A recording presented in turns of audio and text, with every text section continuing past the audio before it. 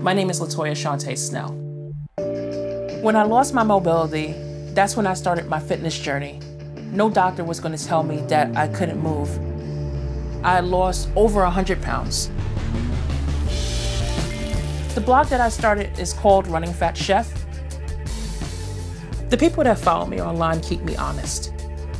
The supportive messages that I get are coming from people who didn't visualize someone in this body actually being active. Body positivity means embracing self love, and we're not all meant to be the same. Sometimes I get messages that attack my race.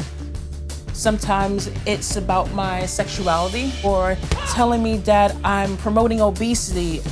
And I'd learned a long time ago to not take someone else's personal issues as my own. When I think of the moments that made me happy, I think back to cooking alongside my father. I want to be able to share the love that I got from my parents and pass that on to my son. I've trained for the Chicago Marathon, New York City Marathon, Seattle Marathon, Javelina 100K. I was training for the Ironman 70.3. Unfortunately, I didn't get to a point where I was comfortable with my swimming. Knowing that swimming is the only thing that's actually standing in my way is aggravating, it's frustrating. I can feel all of that fear.